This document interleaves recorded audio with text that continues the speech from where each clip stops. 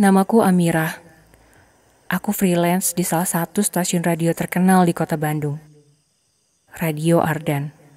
Aku diajak kerja di sini oleh sahabatku, Ria. Dia meminta bantuanku untuk mengerjakan beberapa pekerjaan kecil. Ria kerepotan karena Radio Ardan akan menyelenggarakan acara spesial untuk memperingati ulang tahun program andalan mereka. Nightmare Side, acara radio horor. Program ini sudah ada sejak tahun 97 sampai sekarang. Kabar yang beredar, radio ini juga angker. Banyak cerita seram mengenai penampakan di sini. Ria juga beberapa hari yang lalu mengingatkan aku. Katanya nanti bakal banyak orang yang berkostum hantu untuk merayakan anniversary Nightmare Side. Ya, semoga pekerjaanku hari ini lancar.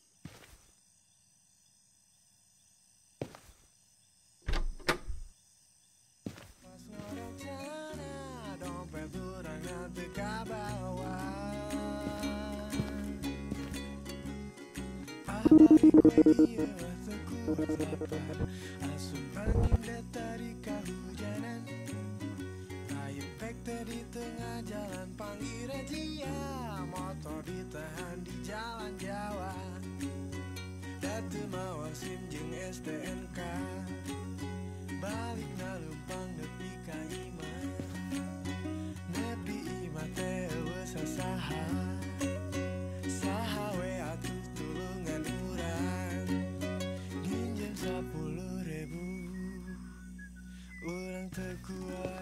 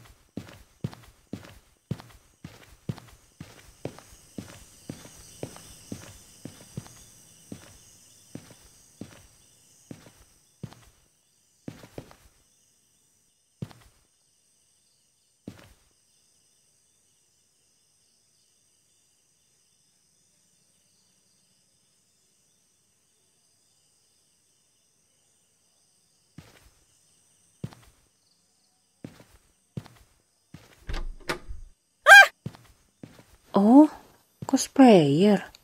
Menjiwai peran sekali.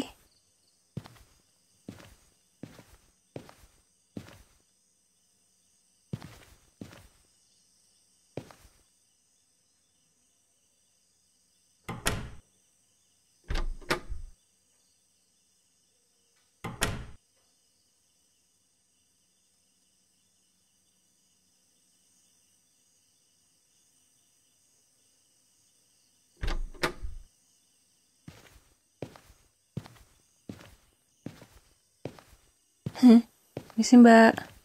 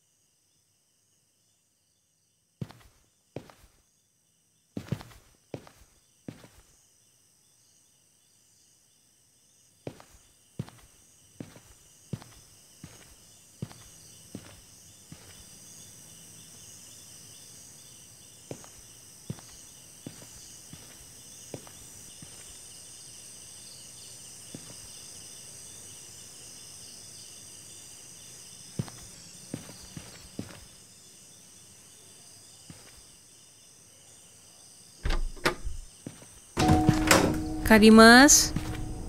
Kak Dimas? Duh, di mana ya? Sini, sini, ke atas. Eh, siapa ya? Amira ya? Itu tuh, lewat tangga, lewat tangga. Oke, Kak.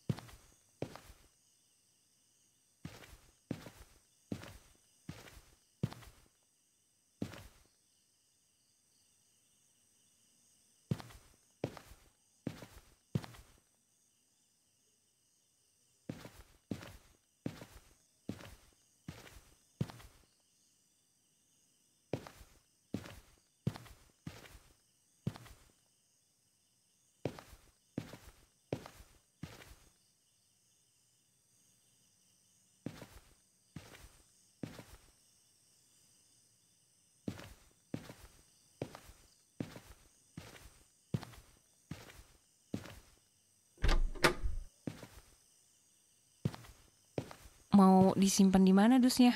Di dalam aja ya, di atas meja. Oh,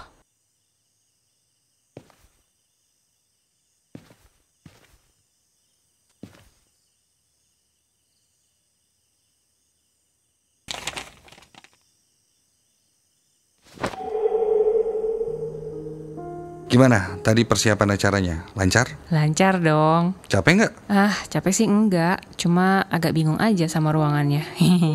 Oh iya, di sini emang denahnya nggak biasa. hmm, gitu. Tapi seru sih, Kak. Bakal rame ya kayaknya. hmm. Tadi juga ketemu cosplayer yang jadi kuntilanak tuh. Udah lihat belum, Kak? Hah? Dia kayak pakai bau-bauan yang aneh gitu. Kayak enak banget deh. Kayak beneran. Cosplayer? Eh, di mana? Di lorong belakang itu, Kak. Yang deket tangga kantin. Eh, semua pendengar kita arahin masuk dari depan sih. Areanya juga kita batasin di sini aja. Kalau kamu sampai nyium bau yang aneh, kayaknya yang kamu lihat tadi versi originalnya deh. M- m- maksud kakak? Iya, yang kamu lihat itu asli. Tapi itu bukan penghuni sini, itu dari luar. Nanti kalau kamu ketemu yang kayak gitu lagi, jangan kamu lihat ya. Nunduk aja. Atau lihat ke arah lain. Aduh, seumur umur aku belum pernah lihat gituan, Kak. Jadi nggak tahu. Nah, makanya jangan dilihat. Kalau kamu makin sering lihat, mereka kesenangan dan jadi makin sering nampakin ke kamu. Wah, oke deh. Kalau mereka nyamperin kita, gimana, Kak? Tahan napas saja ya, sambil jauhin mereka. Jangan nengok-nengok ke belakang, oke? Oh gitu ya. Jadi kalau ketemu gituan, jangan dilihat, tahan napas, pergi. Dan jangan dilihat lagi, gitu kak? Betul. Duh, amit-amit deh, jangan sampai ketemu lagi. Eh, Oh ya, nanti tolong matiin lampu room 159 ya. Tahu kan saklarnya di mana? tahu kak tahu. Sekarang aja deh aku matiin lampunya. Aku pamit ya kak. Oke, hati-hati. Thank you ya. Siap kak.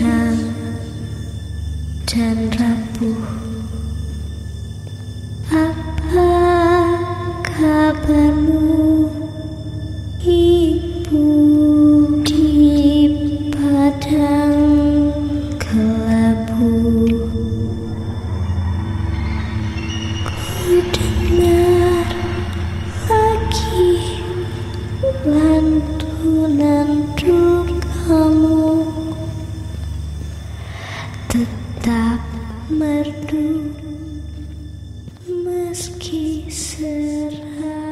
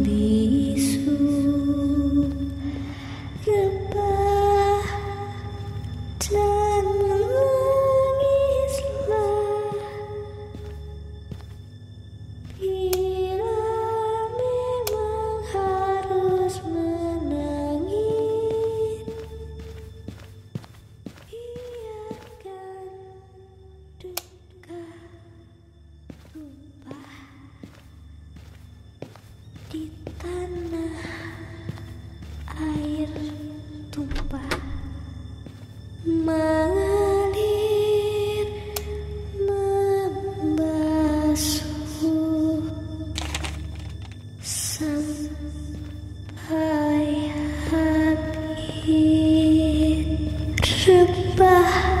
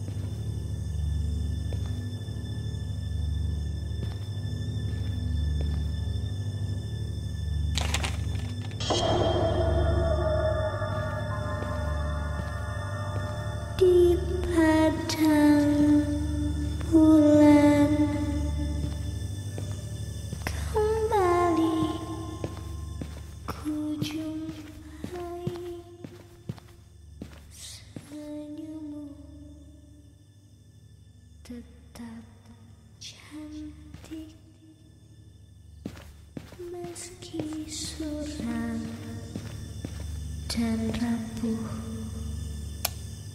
Apa kabarmu, Ibu di padang kelabu? Ku dengar lagi lantunan kamu. Tetap Tak merdu meski serah.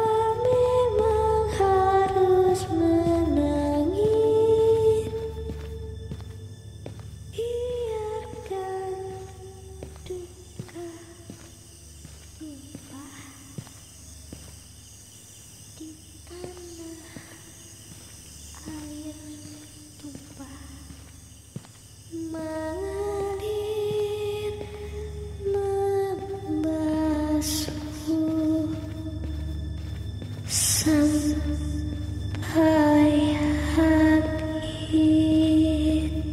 rebah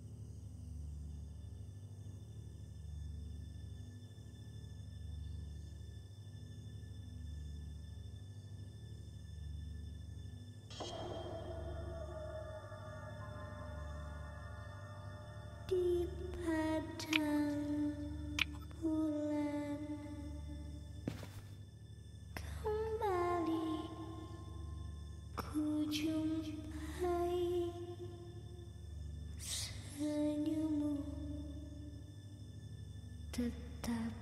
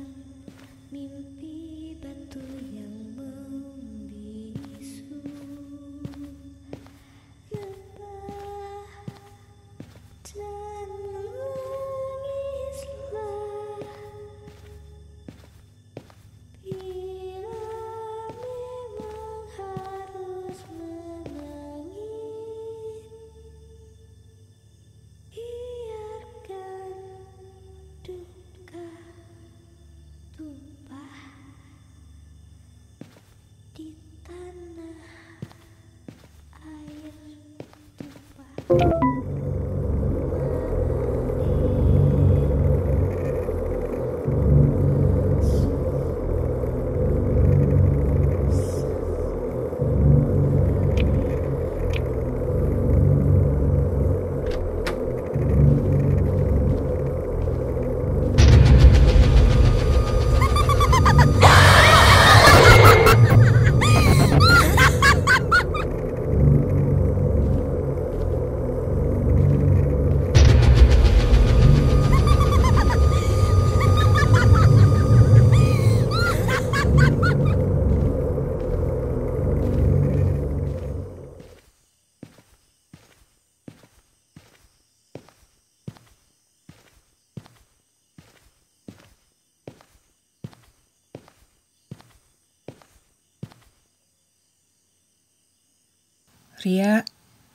aja ya. Badan kamu anget gini. Gak apa-apa.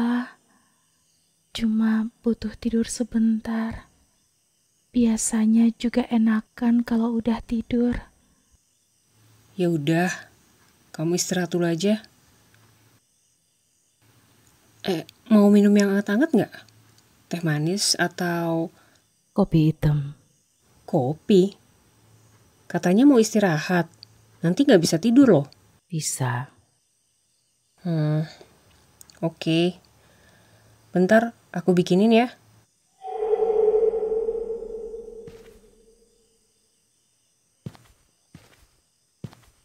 Yah, habis lagi galonnya. Di mana ya airnya? Ah, ini sih harus bikin di kantin. Ria, aku ke kantin dulu ya. Hmm.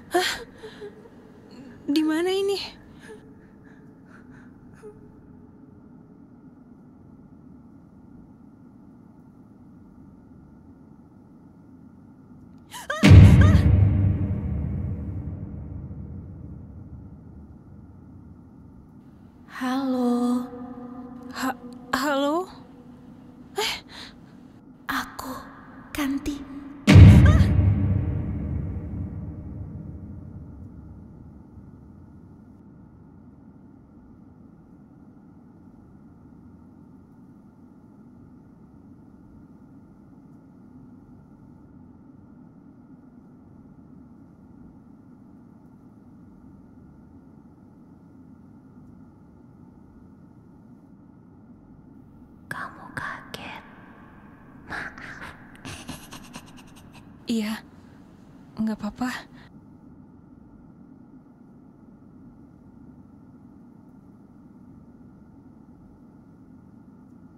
Kanti? Kamu hantu atau Eh, eh, eh jangan nangis.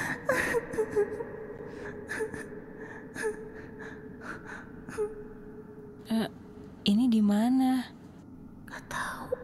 Aku juga terjebak. Diam saja. Yang nolong gak ada. Kasian ya. Hah? Terjebak gimana? Takut sekali. Banyak yang jahat. Sembunyi. Shh.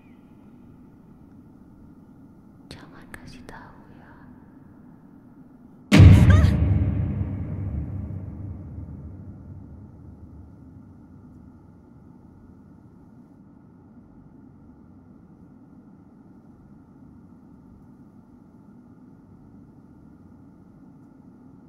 Enggak, enggak. Siapa yang jahat? Banyak. Serem deh. Kamu tahu. Eh, terus aku gimana keluarnya dari sini? Aku juga nggak tahu. Tolongin. Mau keluar.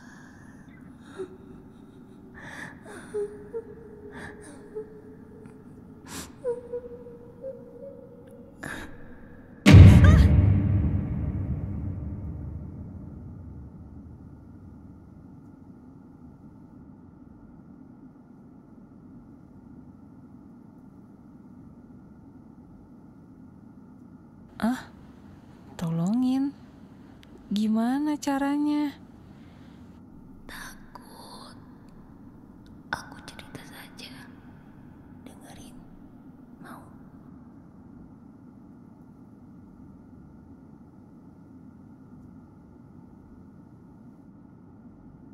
Nggak mau. Aku mau pulang. Kamu pasti mau ngejebak aku terus di sini ya? Kak, kamu jahat. Dengerin. Kasih tahu orang-orang.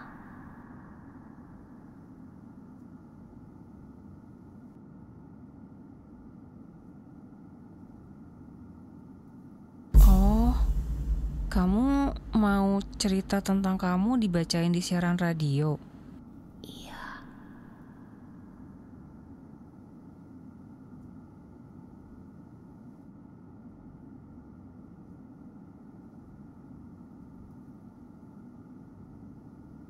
Gimana ya?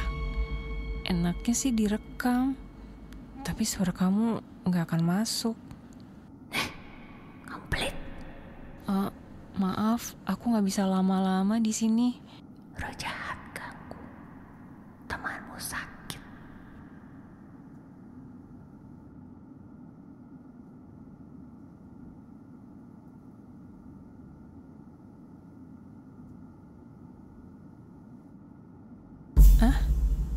Iya, dia sakit.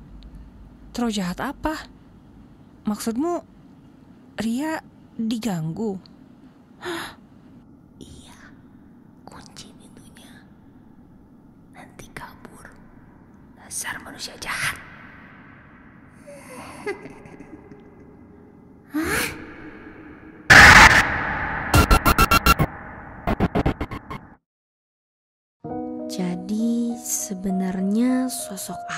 Kita lihat tadi kak?